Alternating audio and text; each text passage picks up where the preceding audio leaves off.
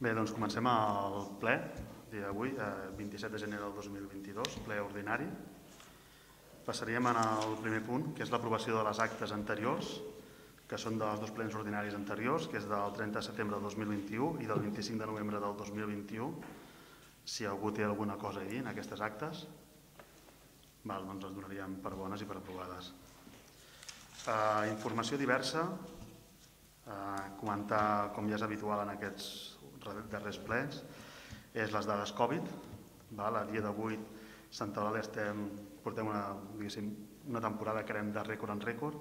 Avui estem a 482 positius confirmats en els últims 15 dies i portem un total acumulat de 1.702 ciutadans que han passat pel, pel Covid des del seu inici Eh, destacar que, per sort, amb la informació que tenim, la majoria d'aquesta onada que tenim ara, doncs, per sort, és bastant asimptomàtica té bastants efectes tipus gripal i no hem de lamentar que tinguem coneixement de circumstàncies molt complicades.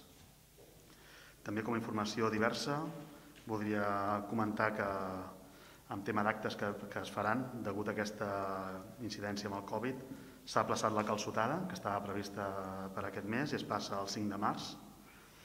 El Carnestoltes es continuarà fent el 26 de febrer, amb un altre format, que és el, bueno, és el tradicional no, que és el tema del, dels àpats, igual que els tres toms, que és el 13 de març, i el que feien el, a l'esmorzar popular doncs, també s'elimina. Fins, si no hi ha cap novetat fins a, o cap modificació serà així. Val? També destacar a nivell d'obres que la plaça 11 de setembre que ja es va licitar s'iniciarà en principi aquest mes de febrer i que també estem en tràmits d'iniciar també el que és el gual de, de Sant Cristòfol. Val? I fins aquí seria la, la informació diversa. Llavors, donaria comptes dels decrets de resolució d'alcaldia que van del 405 al 431 i passaríem al següent punt, que és l'aprovació del pressupost 2022 i la plantilla de l'Ajuntament de Santa Eulàlia Ronçana i l'organisme autònom Set Comunicació, que ho comentarà i ho explicarà la nostra regidora, la Marta Domínguez, regidora d'Economia.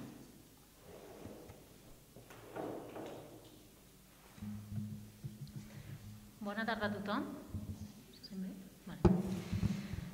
El pressupost de Santa Eulàlia de Ronçana per l'exercici 2022 té un, un import total de 9.478.328,82 euros. Aquest import, tant d'ingressos com de despesa, s'ha reduït en un 5,32% respecte a l'any 2021. Més endavant us faré una anàlisi sobre aquest eh, import. Deixeu-me primer que us detalli algunes, algunes partides interessants o digueu-me necessàries a comentar en aquest, eh, amb aquest pressupost. Perquè eh, pels que fa els ingressos, especialment els ingressos corrents, tenim un increment del 6,68%. Si, si mirem el detall dels capítols, podem dir que s'incrementen el capítol 1 en un 1,86%, un import petit, menys del que teníem previst inicialment, perquè malgrat que vam fer una, un increment de, del tipus impositiu de l'IBI. S'ha mantingut la, la, els ingressos per l'impost de tracció mecànica. Ja més o menys continua sent regular. Eh, ens ha donat una, una forta patacada el, la sentència del, del Tribunal Constitucional en què amb el nou càlcul del, de l'impost de les plusvàlues se'ns redueix considerablement aquesta partida. Llavors, cal dir que bueno, ha afectat notablement en, en en, en l'ajust del pressupost, perquè com sabeu amb els ingressos corrents hem de eh, finançar la despesa corrent. Pel que fa al capítol 2, eh, aquest sí, tenim, tenim previst un increment del 22,85% perquè com ja sabeu no, no deixem de tenir construccions i Sant Eulàlia en aquest sentit eh, està viva. Pel que fa al capítol 3, eh, tenim un increment de l'11,18% eh, respecte a l'exercici 2021 Eh, podríem destacar que s'incrementen els ingressos derivats de la taxa de residus, com sabeu també vam tenir una, tenim unes noves tarifes de residus, per llicències urbanístiques i per la taxa de l'escola i pujat la, la taxa de l'escola Bressol. És que inicialment teníem previst un número inferior d'alumnes per, per, per l'escenari que se'ns plantejava amb el Covid i al final eh, hi ha més alumnes a l'escola Bressol dels que pensàvem que podríem tenir i això deriva en un increment de taxa bàsicament per l'alumnat que, està, que està inscrit. I llavors, eh, eh, evidentment, eh, i potser és el punt més destacable en aquell capítol 3, l'increment continu del, dels ingressos que rebem pel pla de residus. Des de que vam començar amb el port a port de l'any 2018, eh, any rere any, eh, la part, eh, aquest import s'ha incrementat de forma molt notable i aquest any li donem encara eh, continuïtat en aquest sentit. I tot és gràcies a la bona feina i a l'excel·lència de, de la ciutadania de Santa Eulàlia amb, el, amb, amb la gestió de... És destacable dir-ho que tenim aquests ingressos però són gràcies a, a la bona feina de la ciutadania. I llavors al final, eh, també m'agradaria, això pel que fa a capítol 1, ai, a ingressos corrents, perdoneu. Dins dels capítols també m'agradaria eh, destacar eh,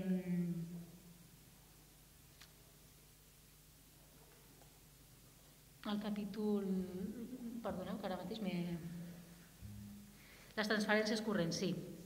Tenim un, un increment eh, notable en la participació dels tributs de l'Estat, que s'incrementen un 12,63%. Eh, bueno, participació de tributs de l'Estat, eh, transferències de Generalitat i Diputació. Us concreto, de fet, de l'estat espanyol tenim una variació respecte a 2021 d'un 14,47%. Aquesta partida també ha crescut de forma interessant respecte a l'any anterior. Per part de la Generalitat tenim un decreixement del 17,63%. Això és degut bàsicament a que en l'exercici 2021 tenim accions del PUOSC eh, que en l'exercici 2022 ja no hi són, bàsicament perquè són aportacions d'ingressos que són per plurianualitats, per tant es va fer en el 2021 i ho mantenim en el que queda de legislatura. Pel que fa a la Diputació de Barcelona tenim un increment del 52,24%, en aquest cas és perquè tenim la subvenció eh, del Fons de Resiliència que ens atorga la Diputació per 119.749,71 euros. I pel que fa al Consell Comarcal també tenim un increment del 37,64% perquè eh, es fa un increment en la subvenció dels professionals de serveis socials que, fiança, eh, que finança el Consell Comercial, que passa de 59.283 a 83.754, i també s'han incrementat les subvencions, com segurament heu vist en, en el pressupost, les ajudes al menjador, que s'incrementa de 35.000 euros a 64.400. Tot això pel que fa a ingressos corrents. De la resta de, de, destacar les transferències de capital, que sí que és cert que tenim, tenim previst obtenir un 80,45% menys que el 2021, però aquesta variació en si mateixa no és gaire significativa. Eh, bàsicament perquè moltes de les subvencions previstes per reconèixer el 2021 es, reconeix, es reconeixeran i cobraran el 2022, però no es tenen en compte en el pressupost inicial del 2022. Llavors, sí que hi ha una reducció, però no ens ha de preocupar perquè és simplement per un ajust eh, temporal. Eh, I llavors ja salto al capítol 9, on eh, l'import previst per aquest any és de 1.064.127,47 euros, que és l'import que tenim previst concertar per finançar total o parcialment algunes de les inversions que tenim en l'annex d'inversions, que, podem, que comentarem una mica més endavant. Pel que fa a ingressos. Pel que fa a despeses, podem dir que s'ha fet un increment del capítol 1 del 7,54% respecte a l'exercici 2021.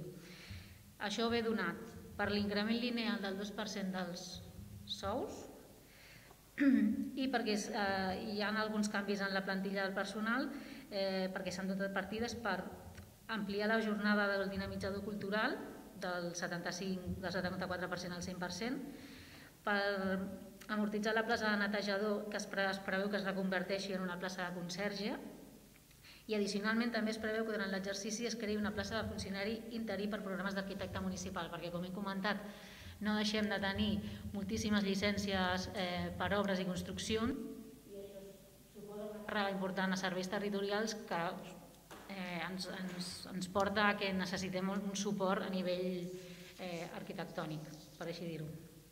El que fa capítol 2, la previsió de despeses en béns i, i, serveis s'ha incrementat en un 0,48%, és a dir, pràcticament és eh, una, un increment neutre respecte a l'any anterior. Es passen de 3.800.000 a 3, bueno, queda pràcticament igual. Sí que podem dir que hi ha un increment considerable en el contracte de neteja i que es veu reflexat en les partides de neteja que compensa altres partides que s'han reduït per petites partides que s'han reduït i que ha compensat aquest, aquest increment del, de la neteja. Pel que fa a transferències corrents, els, els principals increments i reduccions són eh, l'increment que es fa de l'aportació realitzada a Set Comunicació per un import de 3.058,49 euros, que bàsicament és l'increment que després veurem en, en el pressupost de Set Comunicació, l'increment que de l'aportació que realitzem a la Mancomunitat, que passarà de 34.000 perdó, que passarà de 114.201,03 al 2021 a 148.500 euros al 2022 i per la creació de l'aplicació pressupostària beques de mobilitat que ascendeix a un total anual de 6.000 euros. Pel que fa als capítols 6 i 7, inversions reals i transferències de capital, inclou les inversions previstes per a aquest exercici 2022, les quals, respecte al previst per al mateix capítol l'exercici 2021, s'han reduït en un 45,60%. Repeteixo, s'ha reduït en el pressupost inicial, ara us ho explicaré millor en el, a continuació, passant de 2.415.786 a 1.314.135,57. Això perquè és, en el pressupost d'inversions tenim una sèrie d'actuacions que s'han d'executar el 2022 no són de, però el finançament el tenim del 2021. Llavors, inicialment, ara no poden sortir en aquest pressupost. En el moment que s'executin, la seva valoració econòmica passarà al pressupost 2022. Llavors és quan aquest import d'inversions canviarà, però això ho veurem quan es liquidi el pressupost. Com a tenim un llistat molt llarg d'inversions, podríem destacar del torrent del Sorral de l'Aigua Vall, la perllongació de l'itinerari de vianants, el camí de la Rovira, la vorera del camí de Can Sabater, els enllumenats diversos per 163.000 euros o les reformes de l'equipament eh, al Riaral fase 2. Tot això, com us he dit, més altres coses que tenim previstes per 1.314.135,57. Eh, el capítol 9, aquest any tenim un increment del crida l'atenció i tot en la variació respecte a l'exercici anterior del quasi bé un 310%. Això ve donat perquè, com sabeu, teníem una carència de dos anys en els pagaments en els ICOs del famós Pla Rajoy. Si no haguéssim fet els deures, si no haguéssim amortitzat més d'un milió d'euros en els últims dos anys, ara mateix ens trobaríem que aquí, en comptes d'haver-hi 379.000 euros, hi hauria un milió i mig. Gràcies a això, avui només tenim que hem d'amortitzar d'aquells famosos plans només 379.000 euros, perquè aquell milió i mig no teníem capacitat pressupostària per fer-lo efectiu. Llavors, aquests 379 s'incorporen, que és el 50% del que ens queden pendent d'aquells ICOs, i per l'exercici 2023 quedarà una, un import prop dels 300.000 euros i que donaran per finalitat aquells, aquells préstecs. Eh, molt probablement intentarem continuar amb la, amb la línia dels deures a fer i continuar amortitzant aquests diners bàsicament perquè si alliberem aquests 300.000 euros abans de que arribi l'exercici 2023 ens trobarem que alliberarem pressupostàriament 300.000 euros per l'exercici 2023 per altres coses que segurament ens faran falta, com despesa corrent. I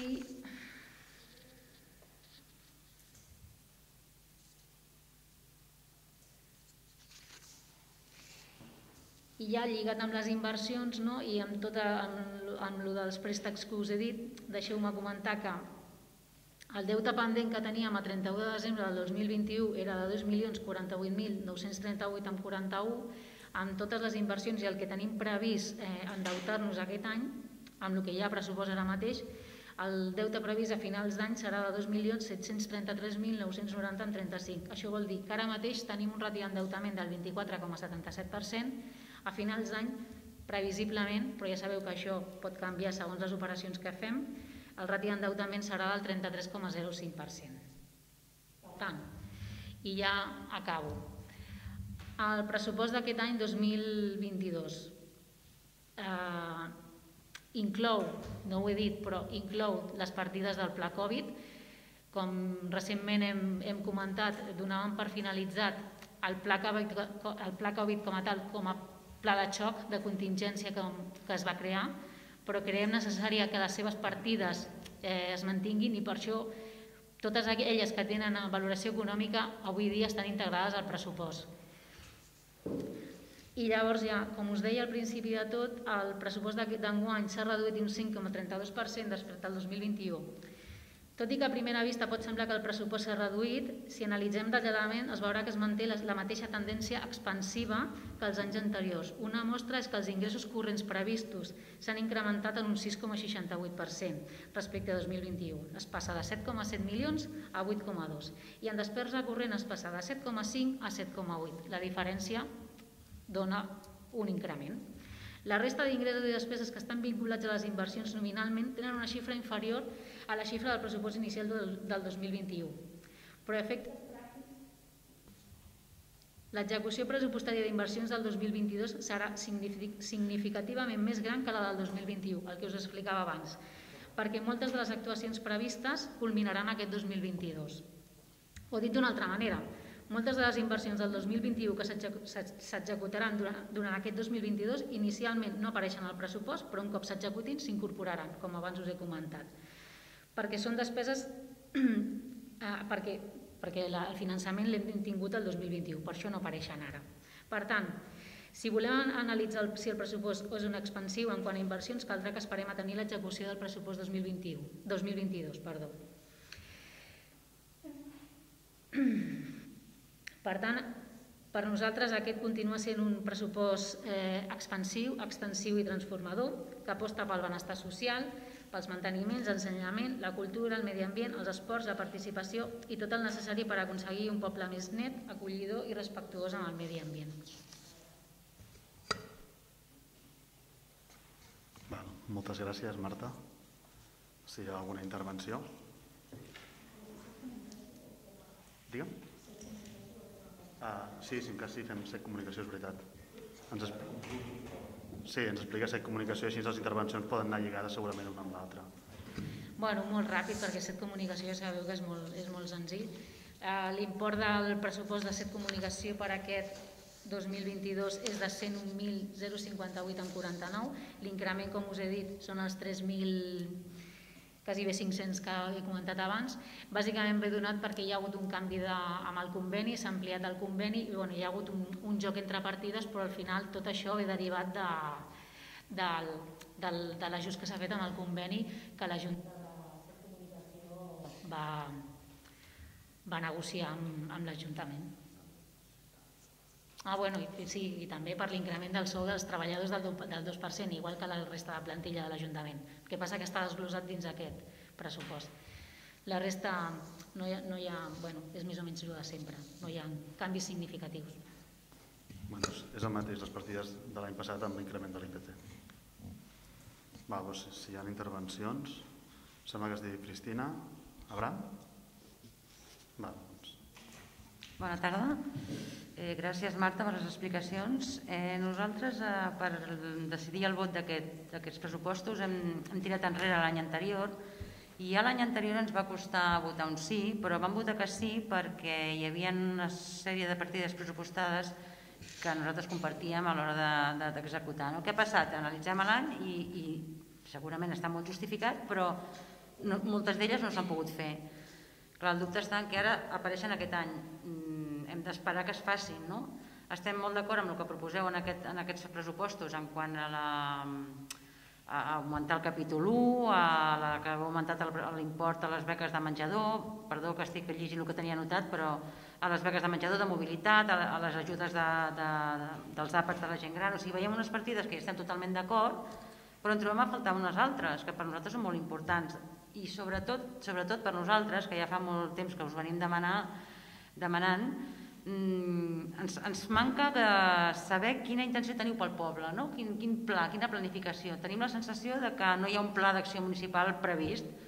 Ara acaba de dir la Marta que el, que el pressupost doncs, és sobretot eh, basat en el benestar social, bueno, en diverses partides més que hi estem molt d'acord, però per nosaltres el benestar social també implicaria una sèrie de partides que no veiem ni, ni en línia com a previsió. Encara que no hi hagi una partida pressupostària econòmica, almenys tenir-la oberta en el pressupost, no? que, que si després arriben ajudes o hi ha disponibilitat de, de, d'economia que es puguin portar a, que es puguin dur a terme, no? com per exemple seria doncs, més, més eh, desenvolupament sostenible, més mobilitat sostenible, partides per a, per a habitatge social, eh, això ho trobem a faltar. Per exemple, també intentar aconseguir ajudes per tots els danys que s'estan produint al nostre poble pel tema dels senglars.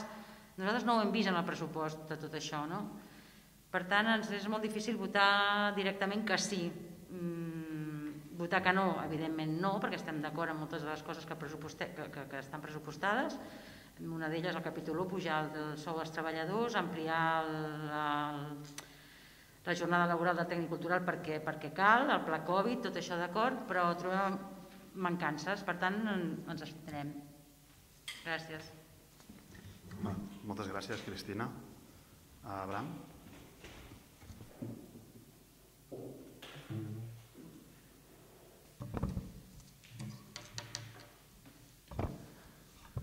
Sí, gràcies, alcalde. Bona tarda a totes i a tots. Abans de començar voldria, si us plau, secretària, que la meva intervenció comptés literal i te la faré arribar, d'acord? Uh, bé, ens trobem en el debat del ple més important de l'any, que és el debat del pressupost. Ja ho sabeu, ho diem cada any i ho reitero i em mantinc. El debat del pressupost i el debat de les ordenances. Un ple que ha de definir quines actuacions durà a terme el govern de, Santa Eulàlia durant el 2022. Aquest és el setè pressupost del govern del Poble Unit i aquesta és una dada rellevant perquè ja ens hauria de donar la pista de que el govern ha de saber elaborar correctament el pressupost. Sempre he començat les intervencions del pressupost valorant el temps que ens ha donat el govern del Poble Unit per poder revisar aquest document tan important i a la vegada tan complex. Per tant, aquest cop també ho faré. Tradicionalment, el govern del Poble Unit ens donava el document amb massa poc temps per revisar-lo a fons en ocasions simplement pocs dies abans de la informativa.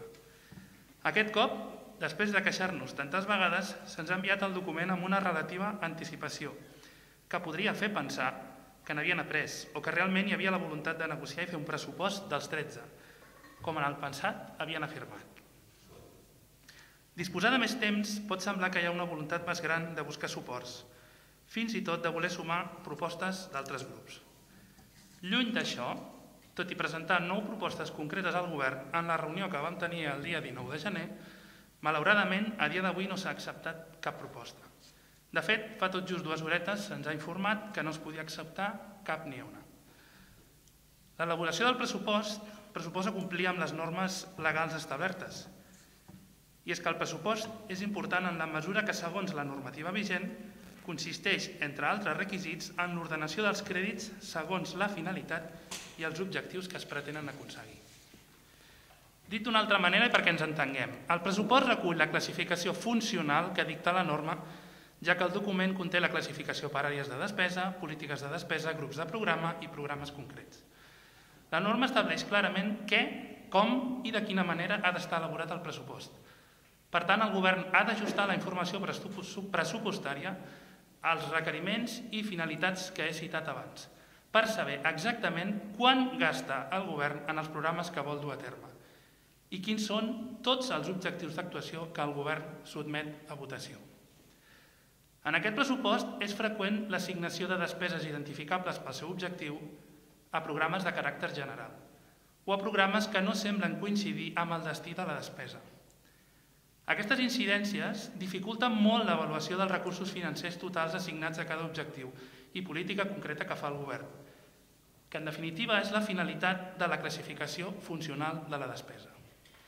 I això és el que és realment important en un pressupost, poder quantificar exactament quants diners destinem a joventut, a afers socials, a la televisió, a la seguretat, a la neteja, a la cultura, perquè en definitiva se'ns demana el vot favorable per això.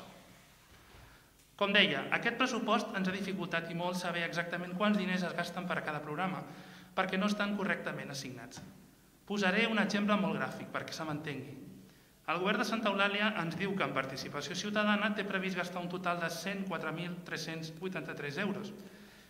La realitat, una vegada entrem en el fons del document, és que les úniques aplicacions pressupostàries vinculades per la seva descripció a participació ciutadana Són una amb un import de 5.000 euros i l'assignada als pressupostos participatius dels joves per 18.000 euros.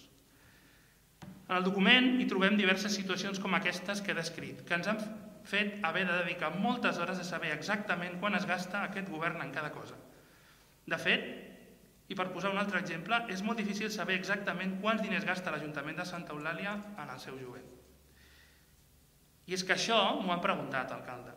I tot i que tenim clar que el govern destina recursos a les polítiques de joventut, això no tenim cap dubte, no he pogut contestar exactament quants diners els hi destina, perquè estan consignats en programes amb finalitats diferents. Circumstància que es repeteix en altres àmbits i que dificulta molt extreure la informació per donar respostes clares que demana la ciutadania.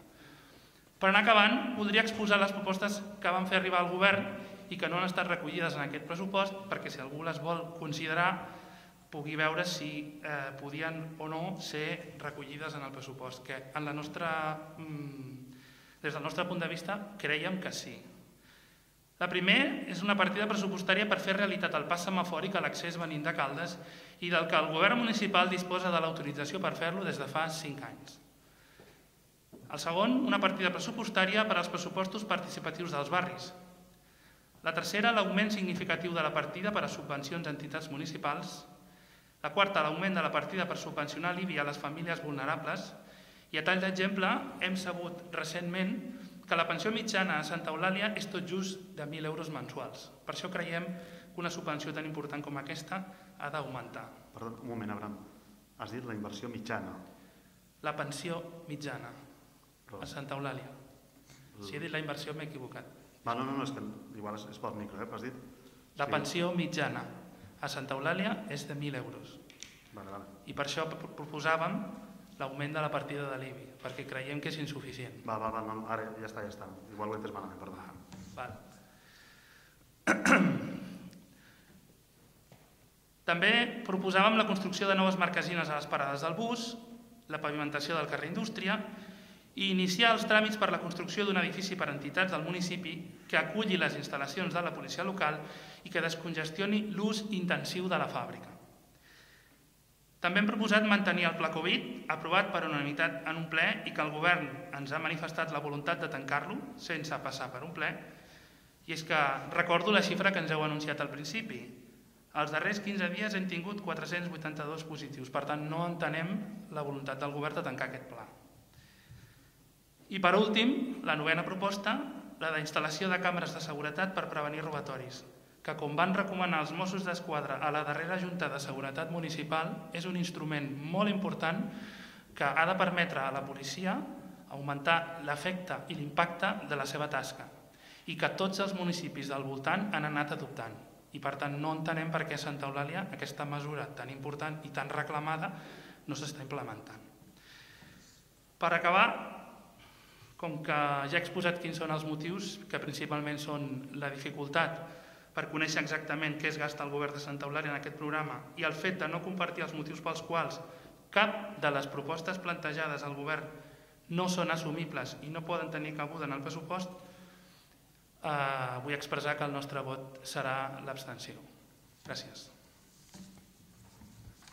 Va, gràcies, Abraham. Susana? No? Val, doncs si de cas, passaríem a les votacions, ha cap més intervenció. Sí, sí, sí, ja, ja, ja l'he vist, ja l'he vist. Va, doncs, vinga, passaríem a vots a favor. Abstencions. Val. Doncs passaríem al següent punt, que és la modificació de l'ordenança fiscal número 4, l'impost sobre Eh, l'impost sobre l'impost sobre l'increment de valors dels terrenys.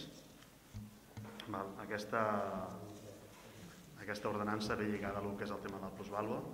Vale? És un dels punts que ens han vingut des de, des de Diputació amb tema normatiu que hem d'acordar i de posar aquest text per adaptar-lo a la nova norma, del, sobretot amb el, el que és el tema del càlcul de, de l'import.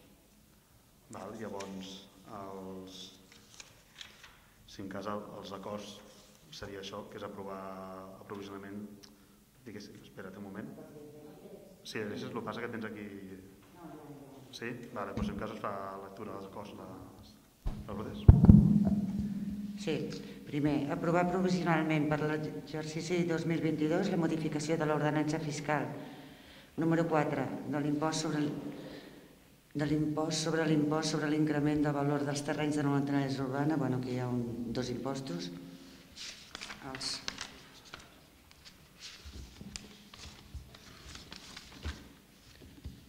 Vale, el segon, l'acord definitiu en matèria de derogació, aprovació i modificació d'ordenances fiscals per a l'exercici de 2022, així com el text refós aprovat serà objecte de publicació en el BOP i tercer és posar al públic en el tauler d'anuncis de l'Ajuntament l'anterior acord provisional, així com el text complet de l'ordenança fiscal modificada durant el termini de 30 dies hàbils comptats des del dia següent de la publicació de l'anunci.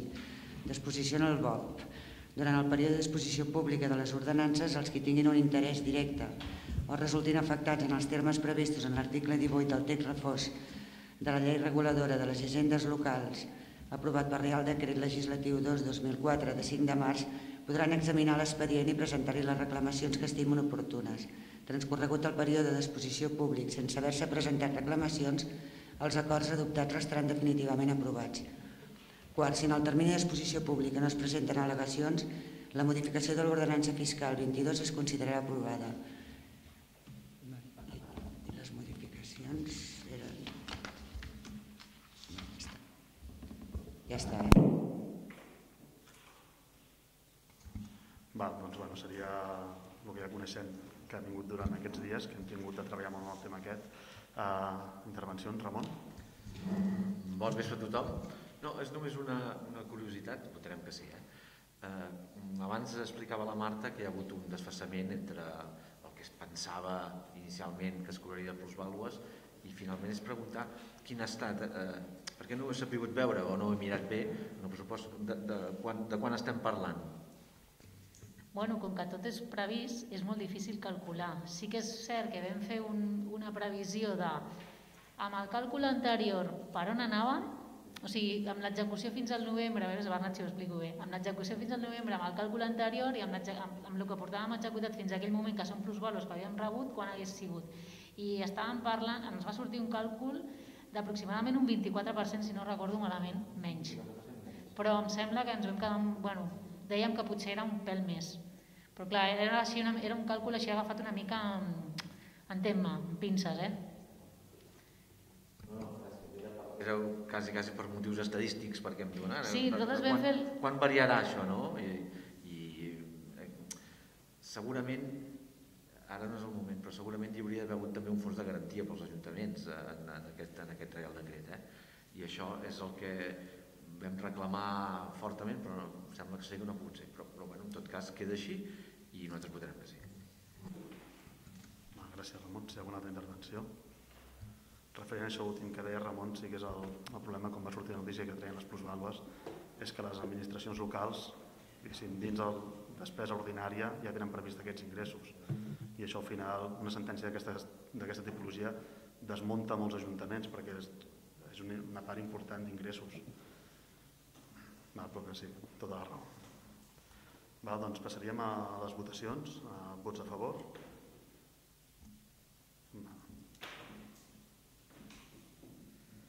I passaríem al següent punt, que és l'adjudicació del contracte de servei de neteja dels equipaments municipals i eh, també el que és les auditories de qualitat que es farà sobre aquest servei.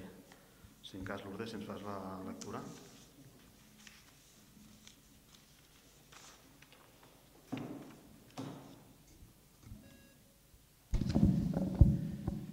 Si voleu que llegeixi les puntuacions o directe als acords si en cas una mica el que és els acords, llavors amb el tema de les puntuacions, sí. com que ja tenim el detall.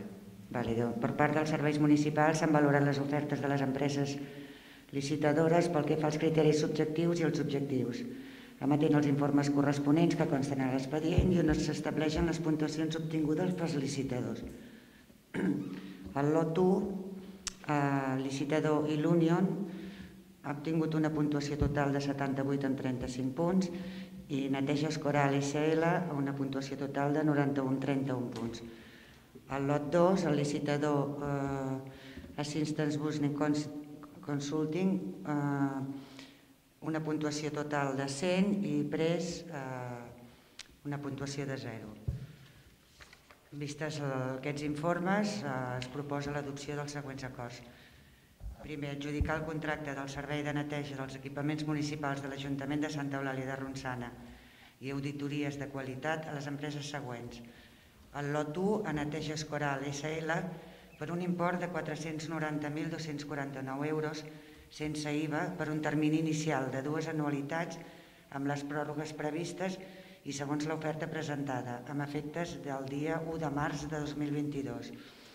I el lot 2 a Sinstant Bus, Business Consulting per un import de 12.600 euros sense IVA per un termini inicial de dues anualitats amb les pròrrogues previstes i segons l'oferta presentada amb efectes del dia 1 de març de 2022.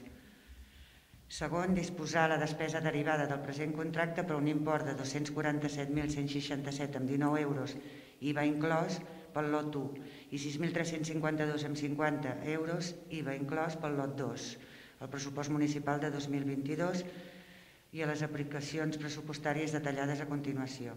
Aquesta despesa correspon al període març-desembre del 2022, 10 mesos, i restarà condicionat a l'aprovació definitiva del pressupost del 2022, que el total entre el lot 1 i el lot 2 són 253.519,69 euros.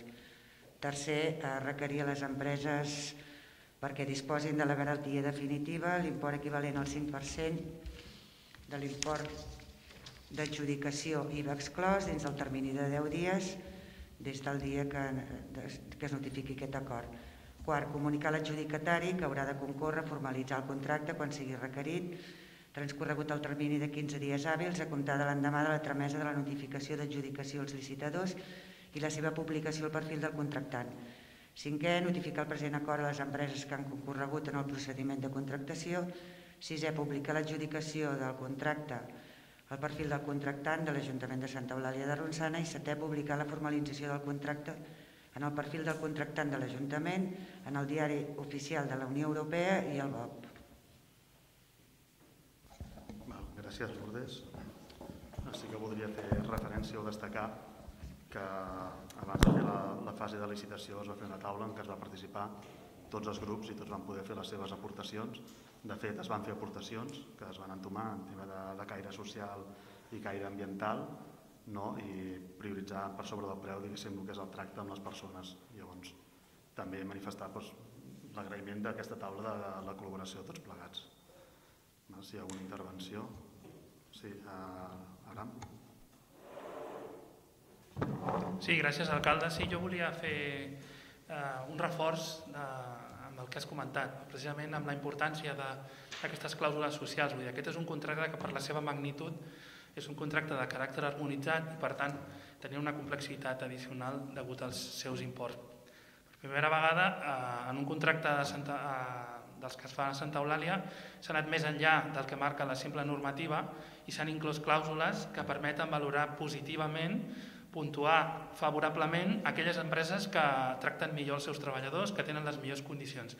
I això és important perquè el sector públic és un motor eh, molt important del teixit productiu del país i, per tant, l'impacte que tenen les seves activitats també va de la mà de fer una bona contractació social, responsable i justa. I en aquest cas, amb aquest contracte, ho hem pogut fer. Com molt bé has dit, eh, vau donar peu a que l'oposició pogués participar del, de l'elaboració d'aquest document i en aquest sentit nosaltres vam fer aquesta proposta i estem encantats de que estigui recollida perquè, a més a més de que tenim eh, l'empresa que en principi farà millor la feina, a més a més, és l'empresa que tractarà més bé els seus treballadors i treballadores. I això és important en el context que estem visquent d'aquesta pandèmia i d'aquesta aquesta crisi que hem passat.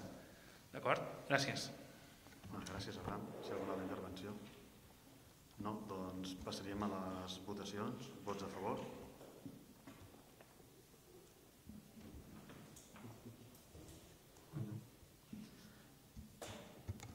Passaríem al següent punt, que és l'aprovació o modificació de les normes d'organització i funcionament del centre de l'Escola Bressol Municipal de l'Alzina. Si en cas Lourdes, si ens fas la lectura dels acords.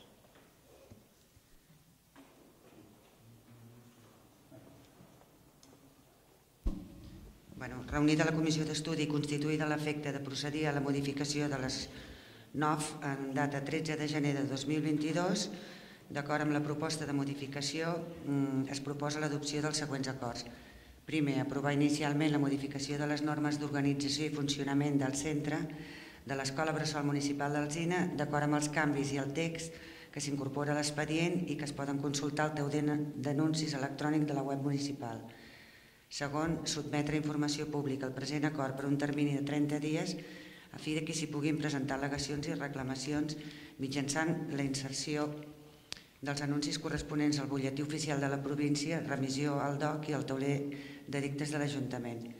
El termini d'informació pública començarà a comptar des del dia de la darrera de les publicacions i l'expedient restarà exposat al públic de la Secretaria de la Corporació i el text de la modificació també a la pàgina web municipal, a l'apartat del tauler de dictes electrònic. I tercer, transcorregut el període d'informació pública sense haver-se'n presentat cap al·legació ni reclamació, l'acord d'aprovació inicial s'entendrà a l'abata definitiu sense l'adopció d'acord express, procedint a la publicació del text íntegre del reglament en el butlletí oficial de la província de Barcelona. Gràcies. Si hi ha alguna intervenció, la comissió ho ha tractat tots i en cas passaríem directament a les votacions. Uh, vots a favor? Val. I ara passaríem al punt de les mocions. Uh, la primera moció la presenta el grup d'Independents Esquerra en defensa del cànon de residus de Catalunya. Sí, la, la, la moció. Sí, no? Va, va doncs si en cas ens, ens comenteu una mica la, la moció i passaríem a les votacions. Disculpeu, és que tenia un ordre del dia que no era, no era el correcte, es veu, eh? Passa. Bé, doncs us presentem una moció en defensa del cànon de residus de Catalunya. Es titula així. De fet, m'ha anat molt bé l'explicació del pressupost per començar en comptes de començar explicant la, la moció, que ja l'explicaré, doncs, eh, si, si ens hem fixat quan ha dit no, tenim un increment d'ingressos, n'ha dit uns quants que són interessants, però n'ha dit un que era especialment important, la Marta, eh, i ens ha dit que sí, que degut al, dic jo, degut al cànon de residus, hem rebut doncs, eh, aquest poble, aquest municipi, hem rebut, estem rebent de manera creixent més diners. Jo diria que ara estem a la ratlla dels 200 40-300.000 euros, eh? Eh que sí? I, i inicialment doncs estàvem a 170, vol dir que hem anat pujant. Per què això? Doncs per, per diferents motius. El motiu principal l'ha dit ella, que és que la gent de Santa Eulàlia fa bé la tria i fa bé el, el, que, el que toca amb les escombraries. Tenim les cinc, les cinc fraccions i les fem la mar de bé. Però, però què és el que, per què això és possible? Doncs perquè hi ha uns diners destinats amb finalitat concreta per a aquests afers. És més, aquests diners que es van estipular el 2004, i ara ja entro en la moció, que es van estipular el, el, el, a Catalunya el 2004 amb una, amb una directiva sobre, can, sobre el cànon que ha de pagar cada una de, de les persones, perdó, cada un dels municipis, paguen uns diners, paguem uns diners i alhora aquests diners se'n retornen en forma d'ajut. I surten d'aquesta bossa comuna que en diem el cànon de residus de Catalunya.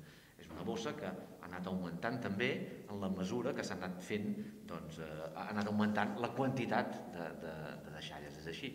I quan s'augmenta la quantitat, degut als diners que s'han d'anar pagant per cada tona, doncs es retornen algunes parts ben estipulades, un 50% per, per fer eh, plantes de reciclatge, plantes de, el que siguin relacionades amb aquest, amb aquest aspecte, i la resta obligatòriament obligatòriament han d'anar cap als municipis.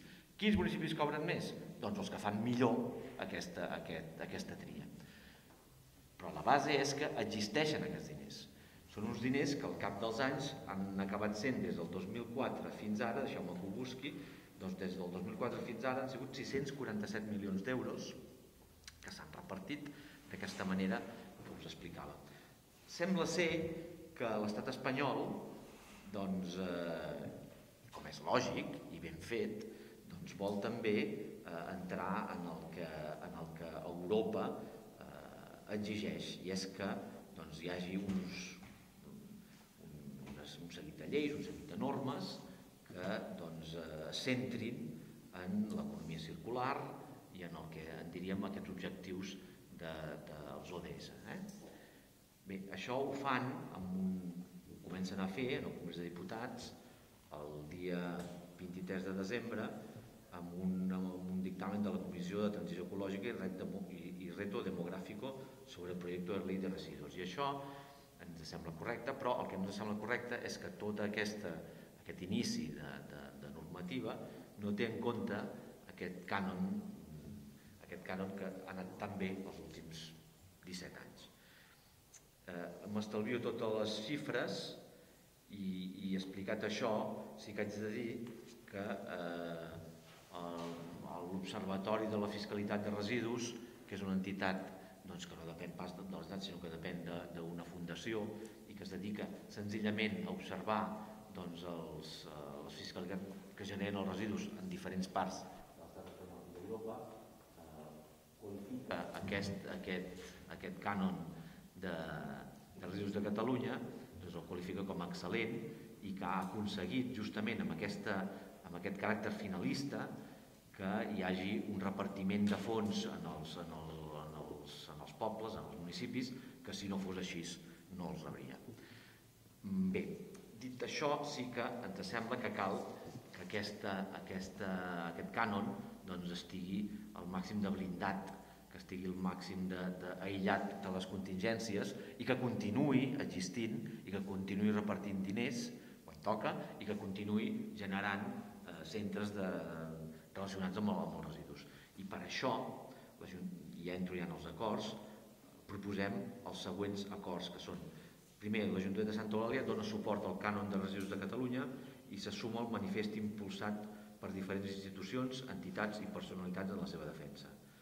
Segon, l'Ajuntament de Sant Eulàlia de Ronçana demana que es modifiqui l'articulat de la Llei de Residus i Soles Contaminados per una economia circular per tal que els cànons establerts a l'esmentada llei només s'apliquin a aquelles comunitats que no disposin d'un impost amb les mateixes característiques, així com es blindi el cànon català tal com es coneix fins ara, un model de fiscalitat ambiental pioner, òptim i positiu, nascut de gran consens polític social a Catalunya i social a Catalunya. Tercer, de no ser així, demana als grups parlamentaris que votin en contra de la seva aprovació al Congrés dels Diputats del Senat. Quart, que l'Ajuntament de Sant Eulàlia Ronçana es compromet a, a continuar donant suport als programes de reciclatge, reeducació, reducció, perdó, reducció i reutilització al seu municipi, així com a l'aplicació de l'economia circular i cinquè, que l'Ajuntament de Santa Eulàlia es compromet a donar suport a l'Agència de Residus de Catalunya en l'aplicació del cànon de disposició de residus i la defensa d'aquesta mesura fiscal. I sisè, donar trasllat d'aquest acord a l'Agència de Residus de Catalunya, el Departament d'Acció Climàtica, Alimentació i Agenda Rural, els grups parlamentaris catalans del Congreso i el Senat i el Ministeri de Transició Ecològica i Reto Demogràfica. I això ho posem a la vostra consideració i esperem que voteu que sí. Vale, gràcies Ramon. Si hi ha alguna intervenció? Sí, Abraham.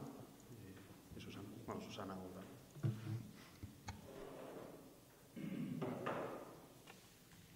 Hola, buenas tardes a todos.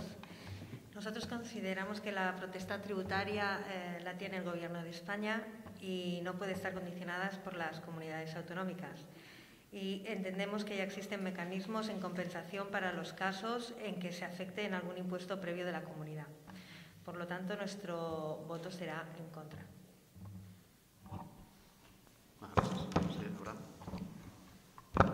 Gràcies, alcalde. Sí, eh, com bé ha anat, desgranant el Ramon, els gasos d'efecte hivernacle, que és un dels temes principals que afecten a la Unió Europea i amb els quals amb l'agenda per combatre el canvi climàtic i amb l'agenda 2030 concretament estan damunt de la taula amb mesures concretes i aquestes ho són. De fet, el 5% de la deposició de residus urbans en abocadors de Catalunya representa el 77% dels gasos d'efecte hivernacle que s'emeten a l'atmosfera. El Ramon ha comentat que sembla ser que el govern vol fer alguna cosa, el govern de l'Estat, però és que no només sembla ser, sinó que ja ho és, perquè el govern ha aprovat la llei de residus i sols contaminats amb el govern d'Espanya, composat per PSOE, Podemos, amb el suport de Ciutadans, amb el suport del Partit Nacionalista Basc i amb el suport de més països al Congrés dels Diputats. Per tant, s'ha aprovat una llei, està acabant-se el tràmit, per tant, aquesta llei és una realitat, serà una realitat quan acabi el tràmit, per tant, tindrem una llei. Quan es fa una llei, automàticament que entra en vigor, doncs aquesta llei s'aplica. La llei contempla un impost estatal de residus que persegueix que totes les comunitats autònomes tinguin una fiscalitat dissuasiva per l'encariment del tractament de residus a incineradores i abocadors. I això és molt important per combatre el turisme de deixalles. I aquí a Santa Eulàlia sabem el que és això, perquè és un dels problemes que tenim al porta a porta. L'impacte del porta a porta ha sigut superpositiu en les finances municipals, ho està sent, la regidora ens ho ha explicat, però una de les externalitats que té és aquests, aquests veïns que, que agafen aquest, aquests residus i que s'ho emporten a un, a un altre poble on no s'està aplicant aquesta política. Per tant, l'objectiu d'aquesta llei també és combatre precisament això, que no agafem la nostra brossa o la del veí o la de la, o de la comunitat autònoma del costat i la portem a un altre lloc on sigui més barat. Buscar una fiscalitat que sigui unificada a tot l'Estat. Com deia, aquest impost o cànon de residus fa anys que s'aplica a Catalunya i a partir d'ara es convertirà en un impost estatal homogeni, amb una tarifa mínima a tot l'Estat, perquè el que no pot ser és que tinguem 17 impostos de residus diferents. Com deia, això pot produir transport de residus cap a altres comunitats amb impostos menors de deposició i de tractament. I l'Estat ha considerat que cal unificar criteris de fiscalitat ambiental en aquest aspecte concret si volem complir amb els objectius de l'Agenda 2030 en els quals estem compromesos i amb els quals estem treballant activament a tota la Unió Europea. És a dir, l'homogenització evitarà el transport innecessari de residus, buscant tarifes menors entre comunitats.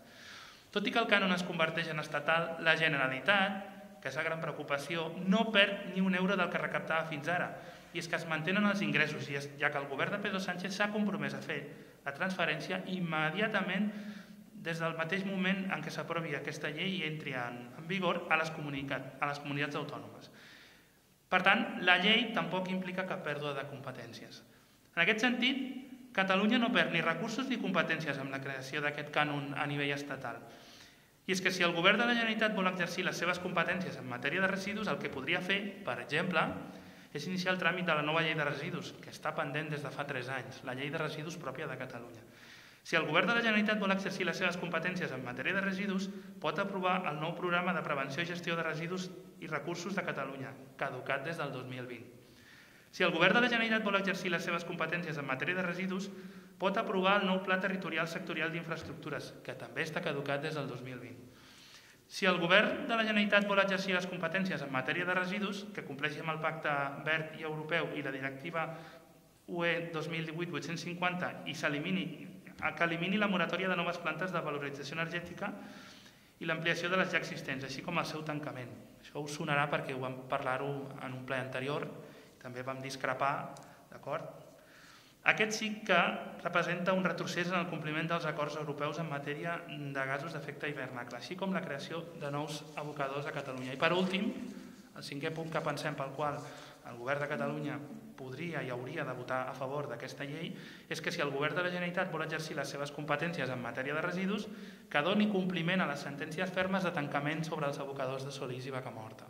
Per tant, nosaltres malauradament no podem votar a favor d'aquesta moció perquè no compartim el, el seu fons. Vale, gràcies, Abraham. La intervenció Nosaltres estem absolutament alineats eh, amb Esquerra. Eh, per nosaltres el concepte és respecte. Creiem que, que com a comunitat hem aixecat un cànon que segurament no li funcionarà a tothom. A nosaltres, a la nostra comunitat, ens ha funcionat, eh, ho hem comprovat. És un cànon que està portant cada cop més municipis a passar el sistema porta a porta. No hi ha cap municipi que faci el pas a porta a porta que empitjori les dades. És un cànon que creiem que ens està portant cap a una victòria final amb els objectius de la Unió Europea i que està anant molt bé. Doncs per nosaltres és respecte. Per nosaltres aquest cànon ens funciona, ens l'hem organitzat d'aquesta manera, com a comunitat, creiem que és positiu, i ara entro a valorar a Santa Eulàlia. Eh?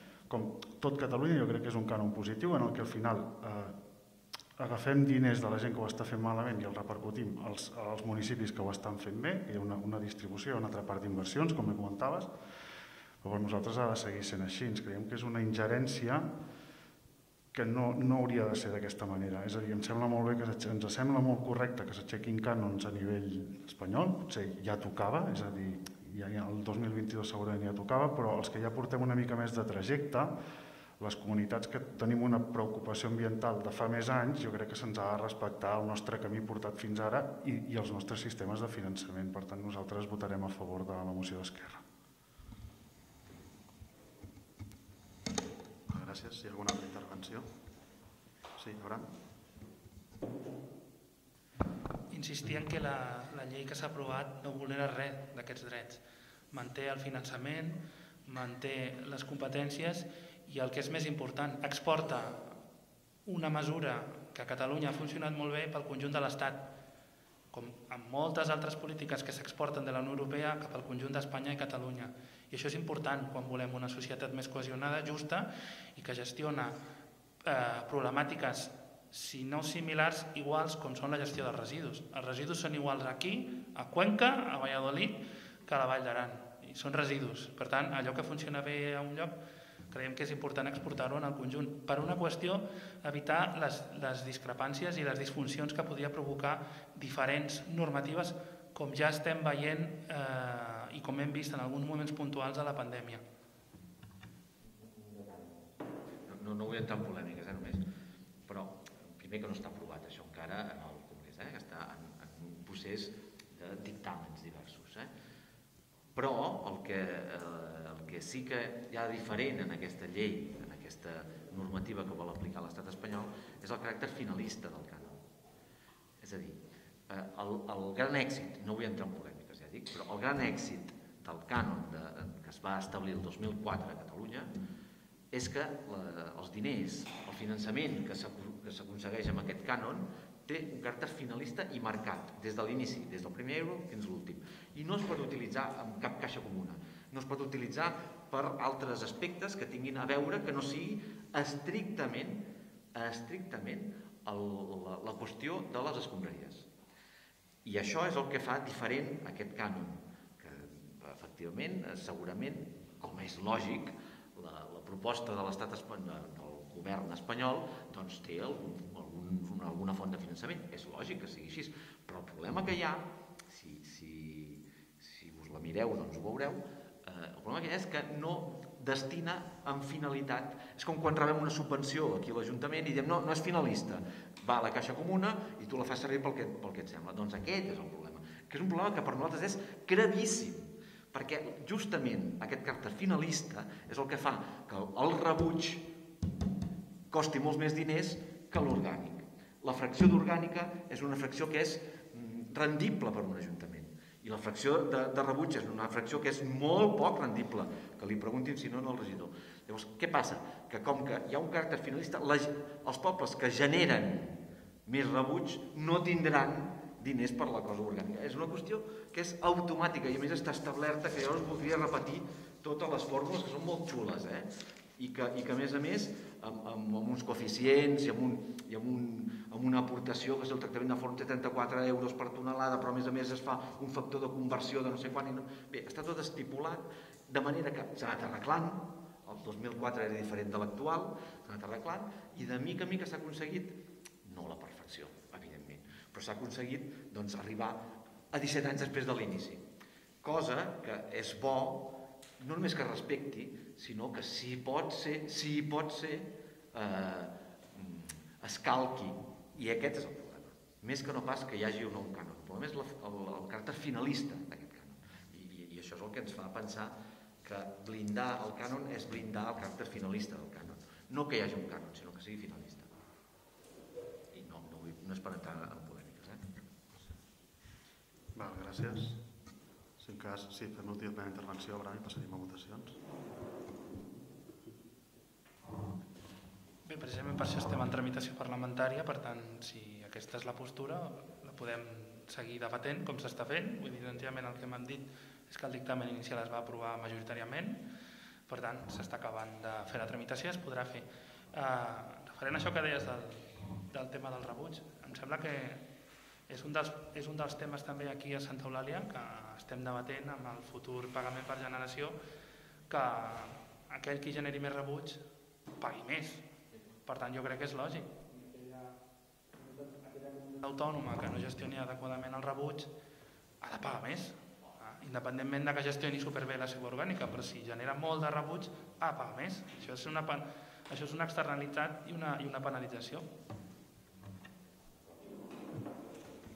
Gràcies. Pues passaríem a les votacions. Uh, vots a favor? Abstencions? Vots en contra?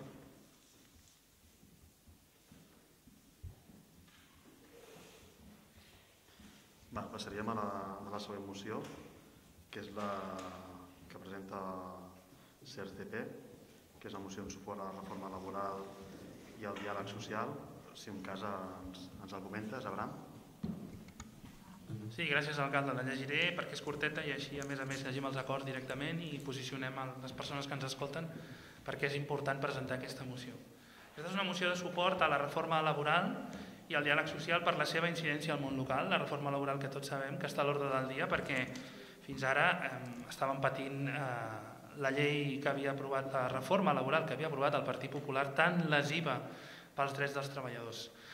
La creació d'ocupació estable i de qualitat suposa un element fonamental en el desenvolupament i l'avenç de l'economia de qualsevol país, també a Espanya, on actualment treballen més de 20 milions de persones, una xifra històrica. L'ocupació és un pilar clau en el benestar d'una societat com l'espanyola i permet el creixement de la ciutadania i impulsa l'activitat econòmica a tots els nivells. En un any i mig, Espanya ha aconseguit recuperar els nivells d'afiliació a la Seguretat Social previs a la pandèmia. No havíem comptat mai amb tantes dones afiliades ni s'havien encadenat 10 mesos consecutius de reducció de l'atur, especialment l'atur juvenil, amb una caiguda de prop del 40% al darrer any. I és que es crea ocupació en tots els sectors econòmics i de manera important, en sectors econòmics d'alt valor afegit. En aquest sentit, la reforma laboral acordada entre el govern i els agents socials, un acord ambiciós, és la, millora, és la millor eina per continuar consolidant un marc de creació d'ocupació que afecta els dos mals principals del nostre mercat de treball, la precarietat i l'alt atur. Per això, la nova reforma laboral penalitzarà la contractació de baixa durada i incentivarà la contractació indefinida i l'ocupació estable. Principals problemes dels treballadors i les treballadores a Catalunya, així com a la resta d'Espanya.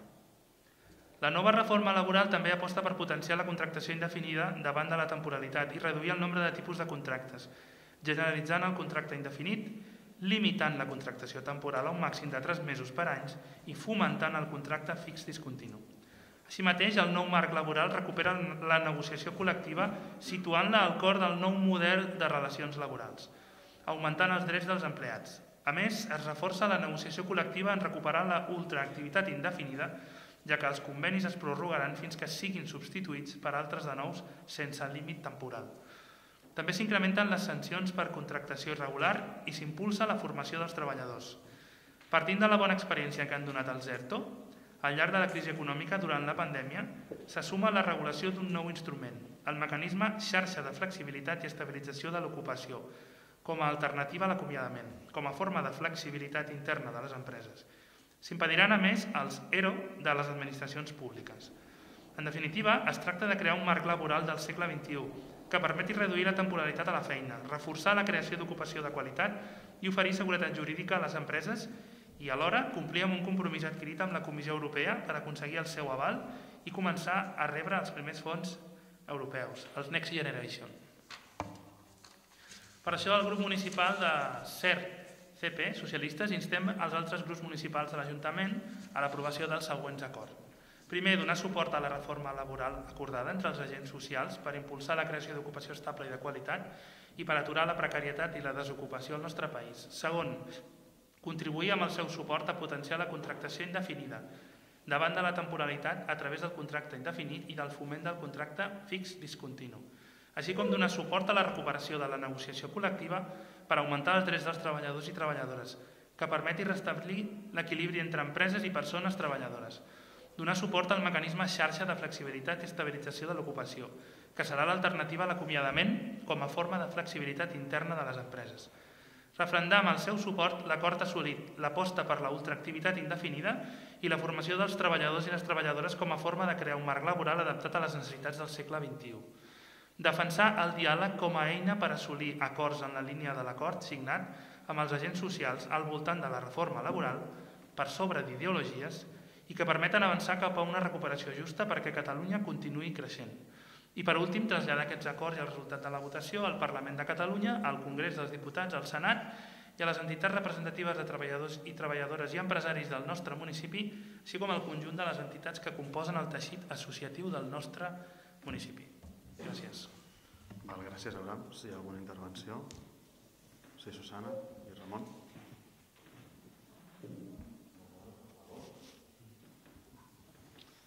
Gràcies, Susana, no, no, no calia. Uh, moltes gràcies. bueno, doncs som-hi. Uh, la reforma laboral, ostres, quin tema. Uh, com, com, anava a dir com l'anterior moció, eh? però és diferent. Aquesta és una moció que ve de, de a mi em ve gran, eh? em ve molt gran, perquè jo de reforma laboral en sé ben poc. Per tant, què fem nosaltres? Doncs en aquest cas concret, nosaltres, independents d'Esquerra, doncs anem a veure què diu Esquerra, perquè el nostre, el nostre lligam amb el partit eh, ens permet això, ens permet tenir informació de, de, del Consell Comarcal, d'Europa, de, de, de Madrid. I a Madrid què? Bueno, doncs a Madrid hi ha el Jordi Salvador, que és el nostre diputat, que és el, i per tant el negociador que tenim sobre aquests temes. Ex president de UGT de Tarragona, una persona molt, molt, que en sap molt d'aquests temes. I que diu d'entrada, bueno, clar, és que estem intentant parlar-ne. El problema de la reforma aquesta, d'entrada, és que eh, quan van aconseguir un acord entre els sindicats, el COE i el govern, van dir, jo ho vaig sentir al Telenotícies i vaig quedar bastant parat, diu, i no es pot tocar ni una coma. Clar, a veure, com que no es pot tocar ni una coma? És a dir, tu agafes una llei que comença un trànsit per, pel Congrés, per les comissions diverses, i no es pot tocar ni una coma. Clar, si no es pot tocar ni una coma, doncs tu que estàs allà i que, i que jo no, eh, però qui sigui que en sap molt d'aquest tema diu, home, a mi m'han triat una gent, estic de responsable i de, i de representant de tota aquesta gent, estaria bé que es pogués tocar alguna coma, perquè si no es pot tocar ni una coma, doncs què hi fem aquí, la resta? La resta estem fent el ridícul. Què passa, per tant? Doncs que avui surt un manifest d'Esquerra Republicana, Bildu, la CUP i el BNG eh, que fan pinya per forçar el govern a fer canvis a la reforma laboral. Eh, I diuen d'entrada al manifest, els grups valoren positivament que l'actual proposta afronti la correcció en qüestions com la temporalitat i la precarietat. Vull dir que eh, és un manifest i és una colla de gent que diuen no, no, segur que està molt millor aquesta reforma que, que la, llei, la llei del PP, segur, segur. Però diuen, escolta, i no hi podríem proposar algun, algun, alguna cosa? I diuen, i què hi voldríeu proposar? Home, doncs mira, Esquerra em, diu, què hi voldríeu proposar? Diu, el retorn de l'autorització administrativa de tots els expedients de regulació per part de l'administració. És a dir, que, que, que la Generalitat, quan hi ha un expedient de regulació, o la Generalitat, o, qui, o en cas, cada comunitat tindrà el seu, doncs pugui tenir capacitat d'autoritzar o no l'expedient de regulació. Això havia passat en, abans de la reforma del PP, que és que quan hi havia un expedient de regulació per part de doncs, d'algun expedient de regulació per part d'una empresa, anava a la Generalitat, la Generalitat deia ho autoritzo, i per tant negocieu, o no autoritzo, què estàs fent? Saps? Bueno, a mi em sembla raonable. Com que no en tinc ni idea de la resta, de, de, ja ho dic, eh, de la resta d'articulat de, de, de tota aquesta reforma laboral, jo em refio del senyor Salvador, que en sap un rato i, diguem, és la meva autoritat en això, no? Ha de ser així. Diu, què més? Diu, doncs aprofundir en el marc català de relacions laborals donant més protagonisme i preponderància als convenis catalans. I llavors jo m'he informat. Què vol dir això? Doncs que els sindicats i la Generalitat van fer una cosa que es diu Acord Interprofessional de Catalunya i en aquest acord general doncs, doncs s'estipulen doncs, uh, uns acords que s'han de complir, que s'han de complir en el, en el marc català. I diu, bueno, doncs per què no, per què no donem protagonisme en aquests acords que ja estan fets eh, en la nostra comunitat? Ho trobo bé, la veritat. I una altra cosa que demana, diu, el retorn ple de salaris de tramitació. És a dir, si un, si un acomiadament és declarat improcedent, l'obligació de pagar el salari des del dia de l'acomiadament fins al dia de la sentència. Que no deu formar part de la reforma laboral, que té molts punts positius. El, alguns els ha dit el, company i amic Abraham. Eh, però bé, hi ha aquesta cosa de base que deia, hi ha aquest, eh, aquestes situacions que potser no són massa complicades, n'hi ha més, eh? no recupera, diu, la, la retallada de les indemnitzacions per acomiadament, eh, no lluita contra la parcialitat dels contractes, això és una opinió. Bé, però, però quin és el problema que ens farà votar que no? O quina és la qüestió que ens farà votar que no? Doncs que ara en aquests moments s'està intentant negociar. I com que ara en aquests moments s'està intentant negociar una de les parts que vol negociar, doncs ha de, ha de forçar poc o molt a l'altra part, si és que té elements de, de, per parlar-ne. I eh, què es fa d'una manera legítima i lògica? Doncs s'intenta, des, de, des de la part PSOE, per entendre's, de socialista, doncs que hi hagi unes, unes mocions a tot el món local, no diré que és una pinça, eh?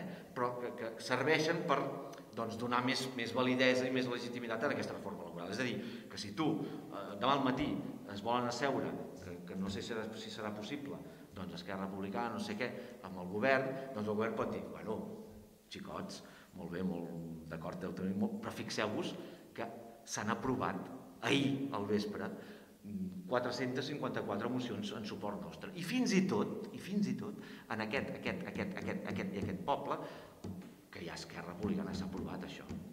I això seria una pinça, no és volguda, sinó que és una qüestió que està bé, seria una pinça que, que a nosaltres no ens convé perquè perdríem, dic nosaltres, com a extensió dels companys que estan i companyes que estan a Madrid no ens convé perquè seria doncs, d'avaluar eh, eh, quan vas a seure en una taula de negociació. I per tant, ens votarem que no.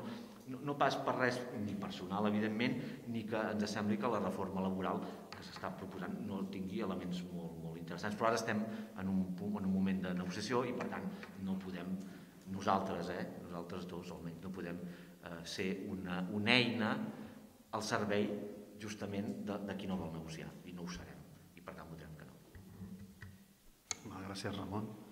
Susana. Bueno, eh, nosotros estamos de acuerdo con, con, que tiene que haber unas mejoras laborales, y, pero consideramos que como se están eh, negociando en las Cortes Generales, de momento nos vamos a abstener. ¿Vale? Ah, merci. Nosaltres Hola, bona tarda. Uh, bueno, nosaltres també ens passa una mica com, com el que comentava en Ramon. Uh, ens ve gran, nosaltres no tenim un partit gran, ho, parlem, ho comentem en assemblea, el, el dimarts vam fer assemblea i parlàvem, entre altres coses, d'aquesta. No? I, I una mica és el, el que s'ha comentat, que tot això, clar, està en debat. O sigui, el, el, el PSOE ho va aprovar per Real Decret Llei però això s'ha de convalidar al Parlament. Clar, això, això, si us en recordeu, ho feia sempre en Rajoy. Quan tenia la majoria feia Real Decreto Ley i pel Parlament, com que tenia majoria, pim-pam. Clar, el govern no té majoria i per això ha de pactar. Llavors, um, requereix aquest, aquest, uh, aquesta negociació parlamentària s'ha de fer i, i no podem donar suport a una uh, reforma que no ha tingut un debat parlamentari, una negociació parlamentària. Això diguéssim com a la com el fons, com, a, com, el, com, a, com el fons del que, del que diu la, la, la proposta de reforma laboral, el, el Real Decret Llei, repetint que també ens va gran, eh, pensem que, tot i que evidentment és una millora respecte a la que hi ha ara, doncs potser es queda curta en, en temes com la prevalença de, dels convenis eh, que s'assignin a, a, a les autonomies, als convenis autonòmics, el control dels zeros abusius, mesures, potser falten mesures per facilitar la conciliació, bueno, tot un seguit de, de punts eh, de millora que esperem que a través d'aquesta negociació parlamentària es puguin acabar d'afinar i que aquesta reforma laboral, a part d'estar pactada entre els agents socials, també pugui estar pactada a, a nivell polític i tingui la majoria que ha de tenir en el, en el Congrés dels Diputats. Per tot això nosaltres també pensem que, que no podem donar suport a aquesta moció i, i també hi votarem en contra. Gràcies. Hi ha alguna altra intervenció? Sí, Abraham. Sí, gràcies. Bé, aquesta moció és, una, és un posicionament ideològic envers un tema que en aquest cas eh, ens afecta, perquè em sembla que si no tots, la majoria dels que estem aquí som treballadors, per tant, una reforma laboral que va en la línia de recuperar els drets de la majoria dels que estem eh, en el conjunt de l'Estat i que, a més a més, compta amb l'aval dels dos actors més importants que representen el conjunt tant d'empresaris com de treballadors, jo crec que és un tema per no menys tenir-lo. El que està fent aquesta moció és posicionar-se a favor de la reforma, a favor de que es reformi la reforma, o sigui, de que s'apliqui aquesta reforma. És cert que el govern ho ha tirat endavant mitjançant un reial decret, però per què? Per la necessitat d'avançar ràpidament amb la resolució de l'anterior reforma, que va ser tan lesiva i que ha comportat tanta pèrdua de drets per tanta gent.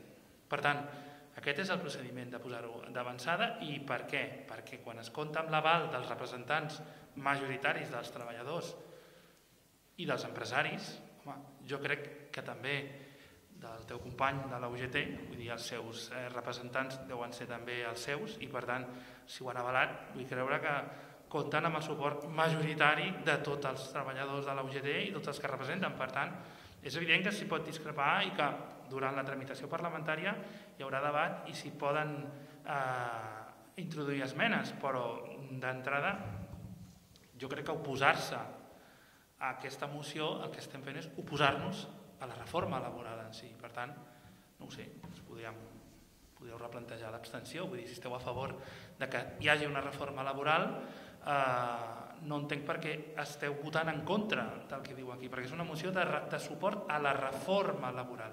Una reforma laboral que està en un tràmit eh, parlamentari, val? i com que està en un tràmit parlamentari es podrà negociar i es podrà debatre, i probablement en la busca d'aquests suports es canviaran comes i més d'una altra cosa, com passa moltes vegades. O és que el govern de la Generalitat no ha aprovat infinitats de decrets legislatius i amb el mateix procediment. S'aprova un decret, es porta al Parlament i es convalida o no. O aquest decret es modifica o no. Depèn dels suports que tingui el govern i depèn de la negociació que hi hagi. Però d'entrada, no donar suport a la reforma laboral jo entenc que és no donar suport a canviar la reforma laboral del Partit Popular que tan mal ha fet el conjunt dels treballadors. I entenc que per això els empresaris i els representants dels treballadors, els representants de la majoria, ho han vist favorablement i per això han mostrat el seu suport. Poques vegades passa que hi hagi aquest consens. De fet, amb el Partit Popular el consens va desaparèixer, sempre de part d'una banda. Això s'ha recuperat fins al punt que se'ls ha fet seure i se'ls ha fet arribar a un acord de mínims. Jo entenc que això hauria de ser un motiu de, de valoració positiva al marge de qualsevol negociació que pugui haver-hi en la tramitació parlamentària. Va, gràcies. Sí, Ramon. Una cosa, també el, el, és un detall només, eh? Una de les coses que diu justament el, el, el comunicat, doncs, o el, el, el resum que m'envia Esquerra, és que diu eh, d'aquí tres... No, no, no, no corre tanta urgència com no poder allargar dos mesos o tres aquesta aprovació.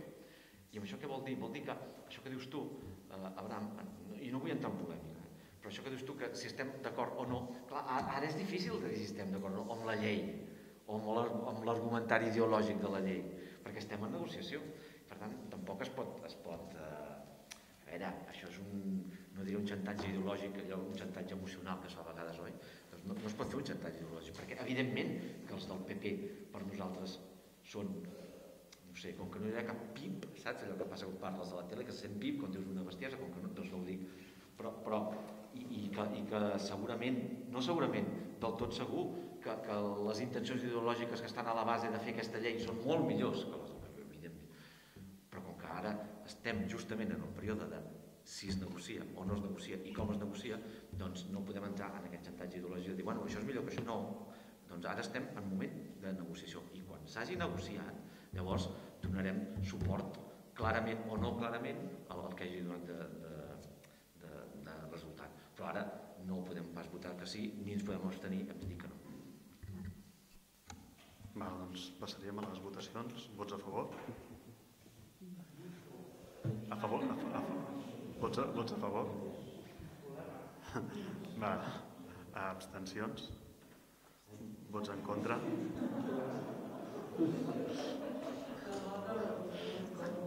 En el Ramon només li competem un vot. Val, doncs passaríem al següent punt, que és l'acceptació de la renúncia a la municipal de la Independència Esquerra.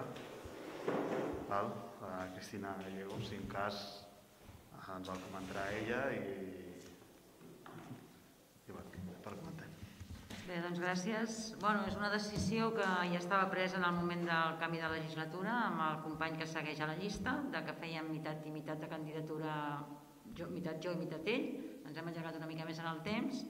Eh, per mi ha estat un plaer tot el que he viscut eh, en quant a coneixences del que passa en el poble, una mica més en profunditat, no només el que veus a la tele, que, que, que bueno, per suposat és una part molt ínfima. Crec que és una experiència que és molt enriquidora, que l'hauria de, de poder provar tothom i sé que el meu company que passa a ocupar el meu lloc ho farà estupendament bé. Jo segueixo en el partit amb una altra línia, no al davant aquí estan en els plens, asseguda a la taula, no vol dir que no vingui a fer-vos a, a donar-vos suport i bueno, contenta d'haver pogut contribuir a tot el que se'ns ha ocorregut que era positiu pel poble. Així que gràcies i seguim, eh, bueno, seguirem col·laborant.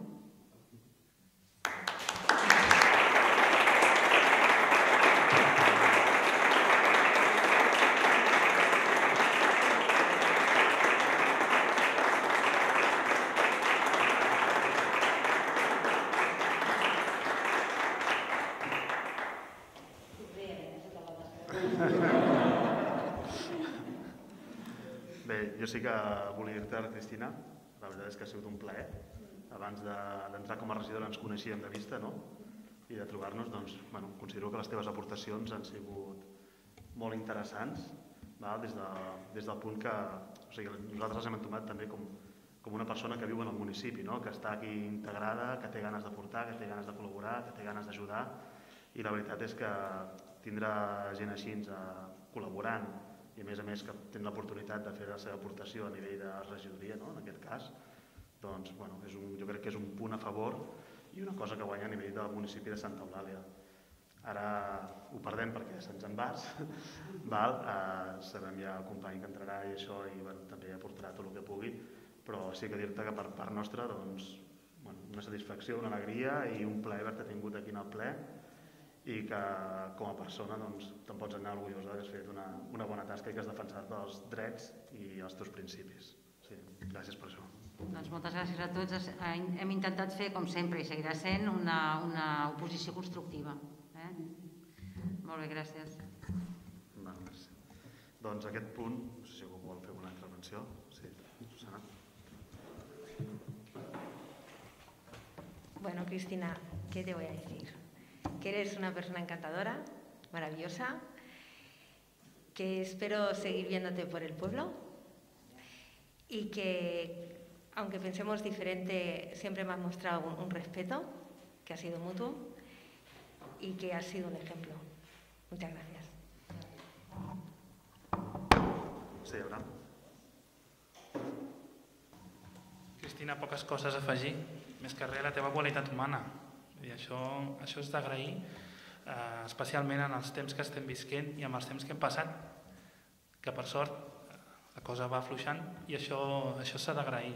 Has sigut una persona que has defensat les teves idees amb convicció, amb arguments, amb la paraula, sobretot, que això és superimportant avui en dia. Val? Eh, amb qui s'ha pogut discrepar quan s'ha hagut de discrepar, però amb qui s'ha pogut arribar a acords quan s'ha hagut d'arribar a acords. I això és molt important. Jo em quedo amb, amb la Cristina dialogant, amb la Cristina que, que sempre, doncs, eh, amb la que hem compartit moments més enllà de la simple política municipal eh, i que com a persona m'ha agradat conèixer i que espero que seguirem veient. De fet, t'animo que quan vulguis segueixis venint aquí i si no, doncs ja anirem a fer un cafè algun dia i ja et posarem al dia. Gràcies. Sí, Ramon. Bueno, jo, jo haig de dir que, que la Cristina, a part, eh, vam començar a ser regidors, o la Cristina, ella el 2017, perquè és clar, no, no, no ha sigut d'ara, ja porta temps, sent molt amics i, i ara deixar de ser regidora, però no és que continuem sent molt, és que encara ho som més. Cosa que, que diu molt d'un grup polític i del mateix grup polític, perquè a vegades per, per una qüestió de politesa amb el de davant doncs el tractes més bé i, bueno, però quan estàs a dins, a vegades aquestes coses, eh, pot ser que se'n ressentin, doncs no, amb la Cristina al contrari.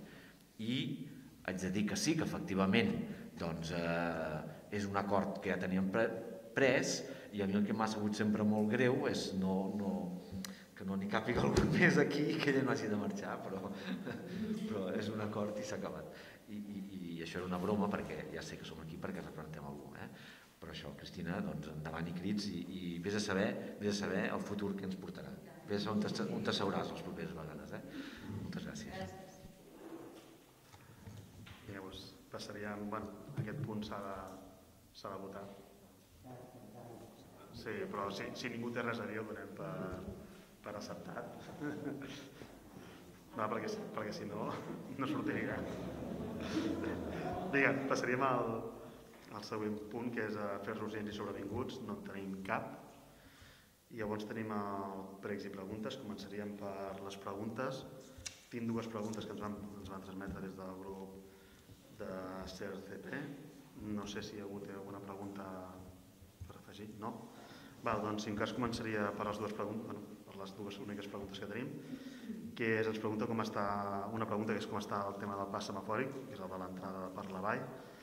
Uh, bé, ara han canviat el que és el, el secretari general de Vicepresidència i de Polítiques Digitals i Territorials, que és el Ricard Font. Tan bon punt eh, vam veure vam fer un comunicat perquè se'ls va, un cop vam fer l'última reunió amb el Gavin eh, se li va passar la moció tal com vam quedar per veure si entomaven que havien de fer ells el pas semafòric al no tindre resposta hem tornat a demanar una reunió i aquesta vegada diguéssim amb l'interlocutor és una altra persona que és el, que és el Ricard Font que és el, el que ha entrat ara nou i esperem doncs, la que tinguem novetats de la reunió, encara no ens han passat el dia o sigui, la que tinguem el dia us diem el dia que tenim la reunió i ja us explicarem com, han, com ha anat a part de la reunió, tot el més continua com està fins al moment. Llavors, una altra pregunta és el tema de les obres del Park and Ride. El Park and Ride eh, està pràcticament finalitzat, ja s'han fet totes les fases. Falta una última que és per acabar-lo d'obrir, que és el tancat perimetral, o sigui, ja el tancat de la, el que és la banda de la carretera de Barcelona, aquest ja s'ha fet, val? que és unes New Jerseys que estan integrades amb una, amb una tanca metàl·lica, i ens falta el perímetre, que és amb un tancat de, de fusta, que això va a càrrec de l'ATM. Llavors l'ATM ja estem ja s'ha acordat, ja ens tenen preparat el que és el document per fer l'aportació, estan a l'espera que serveis jurídics el signi i un cop ens el signin des de serveis territorials, doncs, tenint aquest, aquesta acceptació, farem l'última fase que és el tancat aquest perimetral. O sigui, la, esperàvem ja perquè no salta aquesta tanca, però com que no tenim el, en tema econòmics s'han de fer càrrec ells i tot i que ho tenen aprovat falta la signatura, ara que ho tinguin doncs anirem per fer la inauguració, el dia que es faci la inauguració doncs, ja s'us comunicarà perquè tots els grups puguin estar al dia de la inauguració, que en principi estem des de l'Ajuntament i venen representants de l'ATM, que això va ser un projecte que va iniciar eh, ja ve de fa temps i els representants ja s'han distribuït de l'ATM, estan en altres àrees però tot i així ens ho van entomar com un repte i també ens han comunicat que en principi vindrien a, a la inauguració. Serà, serà en breu, estem pendent d'aquesta signatura i està tot ja tramitat. Val? Llavors fins aquí serien les preguntes i llavors tindríem el punt de, de pregs, si algú té algun prec. No? Doncs fins aquí arribaria el que és el, el ple ordinari d'avui i passaríem un cop finalitzat a les preguntes del públic. Val? Si algú té alguna pregunta, ens, focalitzem amb la persona que està aquí.